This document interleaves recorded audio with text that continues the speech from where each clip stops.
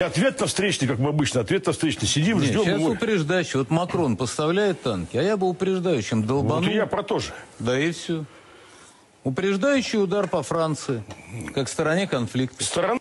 А если та же Франция, как говорит Владимир Рудольевич, начинает там просто, мягко скажем, гадить впрямую, в открытую, ничего не боясь, значит, надо признать сторону конфликта, если Франции быть не должно.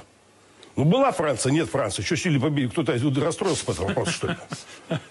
Надо один раз навернуть по Франции. На этом все закончится. Все подожмут хвост, я вас уверяю. Никто не пожелает идти. Причем не надо задействовать стратегический потенциал, нашу триаду. Нет, у нас без этого хватает зарядов.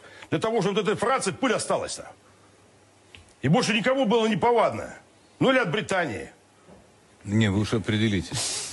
А то у нас, знаешь, Да на пару сразу. я не это, а то у нас же там сейчас те, которые все не знают, куда им дернуться, они сейчас из Франции убежали в Британию. Вы раз им по дороге, они обратно. Пускай чешут в Марокко или в Алжир радостно им там, в высшей колонии.